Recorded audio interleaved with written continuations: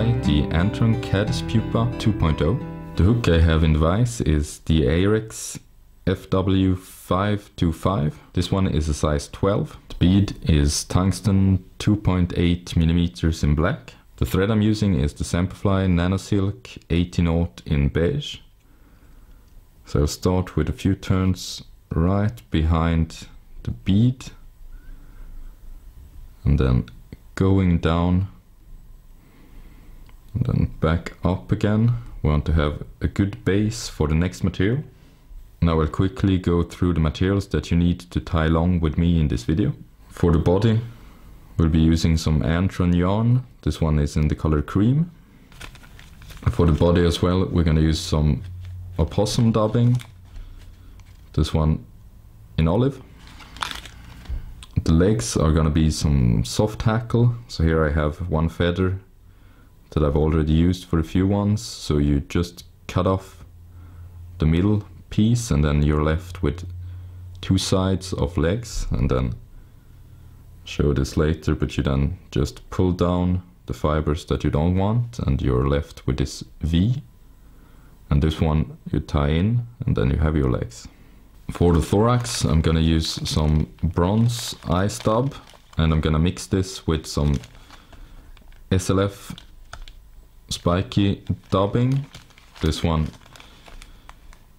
is in the color dark brown and thorax cover is large pearl tinsel and this is going to be covered with some UV resin. So to start this off we're going to cut off a piece of the Antron yarn about 10 or 12 centimeters then we're going to fold this in two so we want to line up the ends and we're going to tie this in right behind the bead. And here you want to pull the material so it doesn't extend over the bead. And then tie this down as far as you want to go. And here going down right to the vise so you want to get this down into the band and then go up with your thread. We're gonna tie down this material. Back again. Building up the shape just a little bit. And the cool technique with this fly is that we're gonna use the Antron yarn as a dubbing loop. So take your opossum dubbing or other fine dubbing and then we're gonna make like a little mat that we want to insert in between the two strands of Antron yarn. And then we're gonna twist this up. You could use a twister or some hackle pliers but I like to do this by hand. If you have a little bit too much of the dubbing you can just pull this out. And then we're gonna start at the back. And as you go you want to cord this up just a little bit more. This is gonna make the segmentation also build up the shape of the body so you want this to be a little bit tapered then once you reach your thread you can untwist this material to make it a little bit flatter and then tie it off. A few turns over, in front, over. Just make sure that this isn't gonna go anywhere.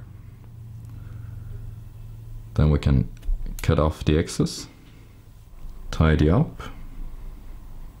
And now you can see that we have the shape taking form and the opossum dubbing acting as breeders here on the side. Time for the pearl tinsel. This one we're gonna tie right on top. Taking this few turns back. Now the legs, as I showed before, you want to make this little V And this one we're gonna tie in on either side. So grab these on either side with your two fingers and then loose turns and if these are too long you can just hold these with your left hand and pull with your right one and I want this to be a little bit shorter. There we go. Few turns to secure. One in front then you can cut off the excess then the dubbing for the thorax. And we want the thorax to be a little bit wider than the rest and this spiky dubbing is also gonna add some legs to the fly.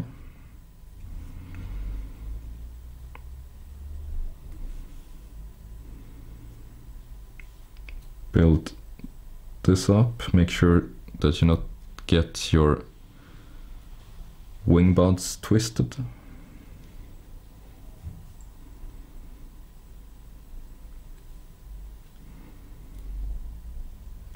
right up to the bead and what I like about the nano silk or the 18 aught is that you can get this behind the bead without even seeing the thread. Get your thorax cover over. Make sure that this one stays in the middle. I like to push this down with a nail. And then tie this off. A few turns over, pull this back. A few turns in front. And then the last thing to do is to whip finish. Five. Pull tight, cut away.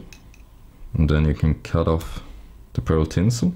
Before brushing out the dubbing, what I like to do is to add just a drop of UV resin and make sure that this goes all from the back up and a little bit over the bead as well.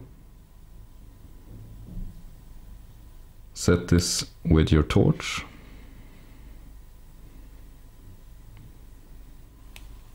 And then if you would like to, you could also pick out or brush out a little bit of the dubbing. But there we have it, the Antron Caddis Pupa 2.0. If you tie this fly, I would really like to see it. You can find all my social media information in the description below. Thank you very much for watching. Until next time, happy tying.